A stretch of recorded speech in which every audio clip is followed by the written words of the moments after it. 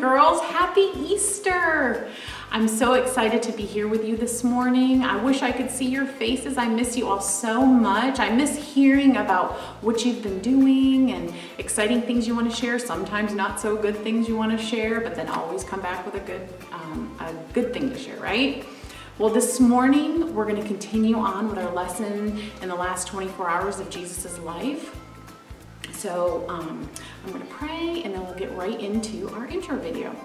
Dear Lord, we thank you so much that we can come together and still worship you and learn about you, Lord, um, even in the midst of um, not being able to be together, Lord, but we can digitally. And we just thank you for um, these opportunities, Lord. And we just pray that our friends are doing well.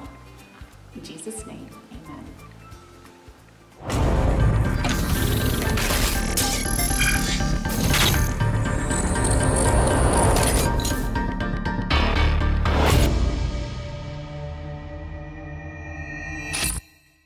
following takes place between 11:14 a.m. and 11:18 a.m. Events occur in real time. Hello recruits, it's me, Special Agent Jack Bow Wow. I'm here in the headquarters of the top secret organization known as Q-Tip. Q-Tip stands for Questionable Training in Progress. As my personal recruits, I feel it is my responsibility to clue you in on some of the things that have been happening here. It seems that our nemesis, our enemy, Dr. Fullowax, has continued to cause all kinds of problems for Q-Tip. I've been accused of allowing him to be one step ahead of us at all times. Not only did he infiltrate our computer system with a dangerous virus, but he also has done many other things to foil our plans as well. Well, I thought we needed to do something to help us catch up to Dr. Fullowax. You know how Dr. Fullowax has his little Mr. Cuddles? Well, I thought I should send one of my assistants to the store to get me a pet sidekick as well. Excuse me, Agent Bow Wow, I have returned from the pet store. Wonderful. Did you get me a pet sidekick? Yes, I did. Perfect.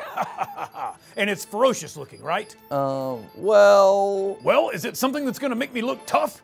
You know, a snivering, snarling, drooling, flea bitten, eight legged, little old lady scaring, coupon cutting, red light running, rotten, prinkled, wrinkled, stinkified varmint? Okay, here's the thing. I.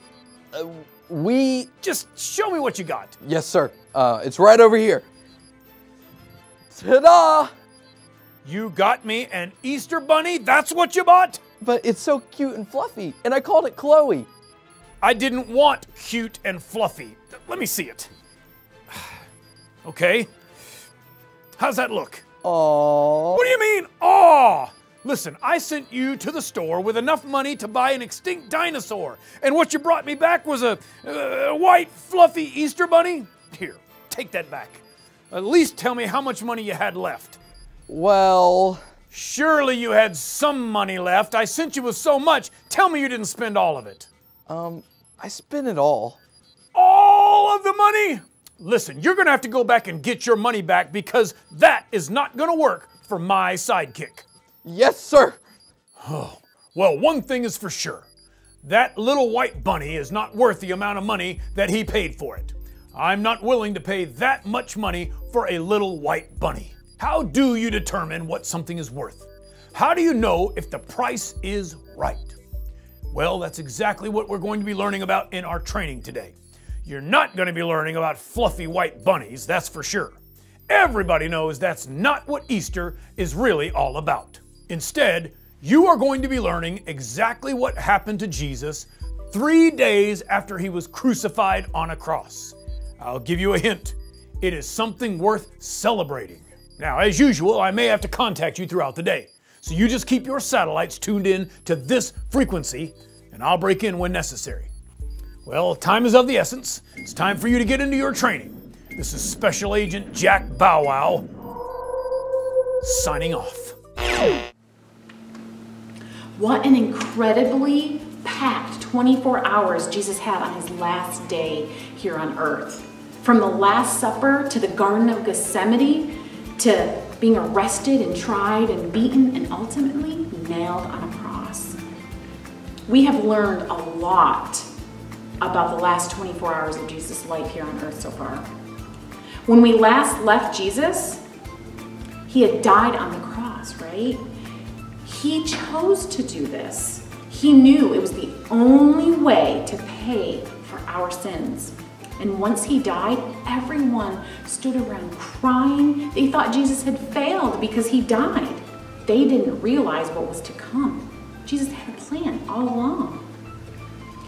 The soldiers took Jesus' body off the cross, and it was prepared for burial and placed in a borrowed tomb. And they placed a really big stone in front of it, in front of the tomb. And it was to prevent the disciples from taking his body and claiming that he had risen. Jesus predicted that he would raise, rise from the dead after three days. Well, three days later, that's exactly what happened. God raised Jesus from the dead. An angel rolled away the stone from the tomb, and Jesus walked away alive. A few hours later, some women came to the tomb to um, anoint Jesus' body with some perfume. And guess what they found? An empty tomb. Jesus' body wasn't there, just the cloth that they prepared him with. Suddenly, angels appeared and said to the woman, Why are you looking for Jesus? He isn't here. He's risen from the dead. The woman went to find the disciples and tell them the good news. Over the next few days, Jesus appeared many times to his disciples and gave them important instructions. Then he rose up in the clouds and went to heaven, where he is preparing a place for Christians to come and meet him one day and spend eternity. What an amazing story, right? Jesus died and he rose again. And that's why we celebrate Easter. In our lesson today, we're going to learn why he chose um, to die and rise again. And you're going to learn how he paid the price for our lives. It's going to be amazing. Let's go right into our Power Verse video.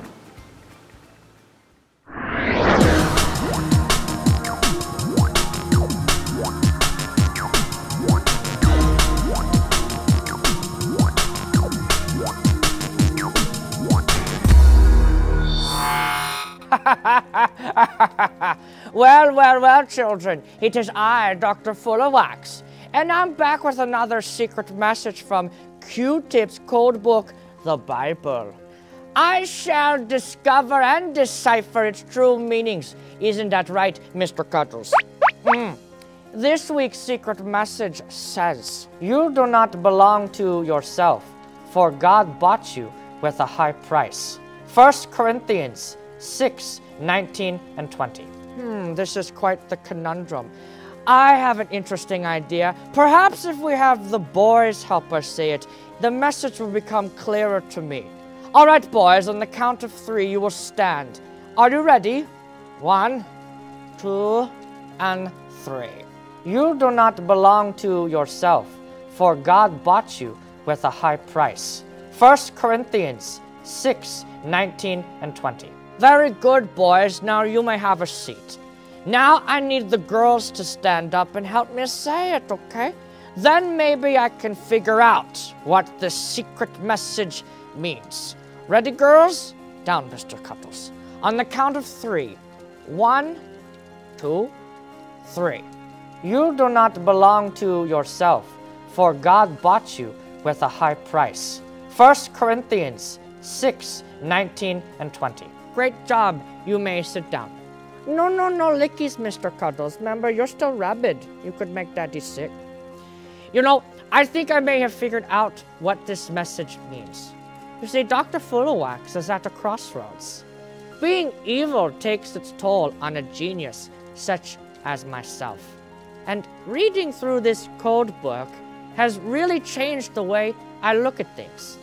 I've even considered possibly contacting Agent Bow Wow to see if he would forgive me and, and take me into the team at Q-Tip.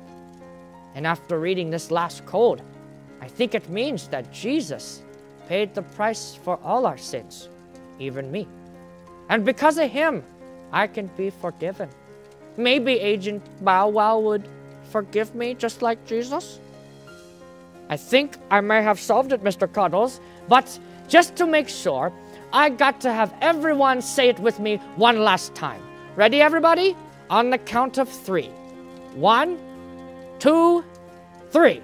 You do not belong to yourself, for God bought you with a high price. 1 Corinthians 6 19 and 20. Good job, everybody. You can have a seat. Well, Agent Bow Wow, looks like I cracked your code and learned something that would make me a better person.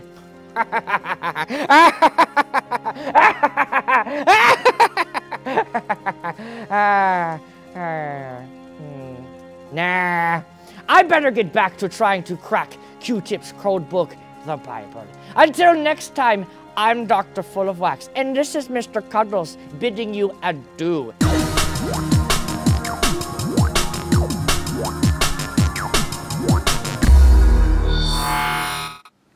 Welcome back.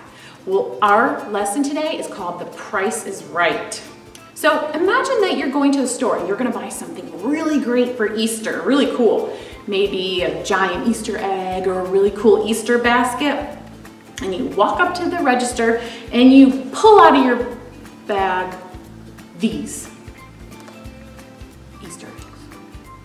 What do you think the cashier, do you think the cashier would let you pay for these? Think he was thinking, hmm, of course he wouldn't let you pay with these. You would obviously have to use this, It's the only thing you can use to pay the price, right? Well, did you know that there's something besides money that was used to pay the highest price in the whole world? It's true. Do you want to see it? Okay, here it is. A cross was used to pay the highest price ever. Well, let me explain. Sin cost a high price. The Bible clearly teaches us that we are all guilty of sin. If we're in the courtroom of life, we would have to know, we would have no choice but to plead guilty. Romans 3:23 says, "For all have sinned." That means you, that means me. If this silk represents sin and this bag represents your life, the silk definitely would belong in the bag, right? Because we have all sinned. And it only takes being guilty of one sin to deserve death and hell forever. That's what Romans 6:23 said, teaches us. For the wage of sin is death. That's a huge price. One sin. And the price is death forever in hell. That's not good. But God never wanted that for us, right? That's why he sent his son Jesus to come to earth, to live life without sin. Even though he was innocent, he was arrested, convicted, and sentenced to death. The reason I showed you that cross and said it was used to pay the highest price is because Jesus paid the highest price for our sins. Even though we were the only ones guilty of sin, Jesus chose to be nailed to a cross in order to pay a price for a price of death for us. He gave his life in our place. He paid the highest price. And that price was right. Because of Jesus, I can be forgiven. 1 John 1 9 says, But if we confess our sins to him, he is faithful and just to forgive us our sins and cleanse us from our wickedness. That means that even though we have sin in our lives, if we confess our sins to God and believe that Jesus paid the price on the paid the price on the cross. Remember this this is sin and this is us. I can be forgiven. The sin in our lives is all gone. Jesus paid the price so we can be forgiven. The best part of this whole story is Jesus Jesus died for us, but he didn't stay dead. Three days later, he rose from the dead. Do you remember where he is right now? He's in heaven, preparing a beautiful place for us to live with him forever. What an amazing Easter story. Jesus paid the price, and that is the right price. Dear Jesus, we thank you so much that you chose to die on the cross for our sins, to save us, Lord, because you love us so very much. And Lord, I just thank you that we get to celebrate what you did for us each and every day, not just on Easter, Lord. And we just thank you for all our friends, Lord, and we pray that they are all safe and well. In Jesus' name, amen. I can't wait to see you guys next week. Bye.